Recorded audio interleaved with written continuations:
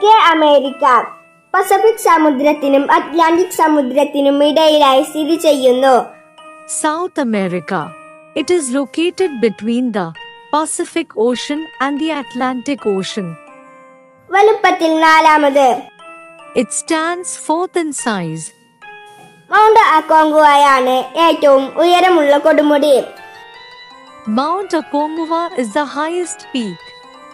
ലോകത്തെ ഏറ്റവും കൂടുതൽ ശുദ്ധജലം വഹിച്ചുകൊണ്ട് ഒഴുകുന്ന ആമസോൺ നദി ഈ വൻകരയിലാണ് River Amazon with the largest share of fresh water flows through this continent.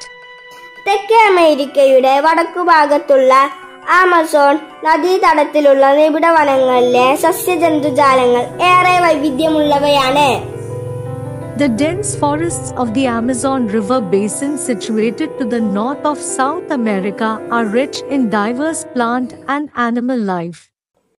കന്നുകാലി വളർത്തൽ ഇവിടത്തെ ജനങ്ങളുടെ ഒരു പ്രധാന തൊഴിലാണ് Cattle rearing is an important occupation of the people.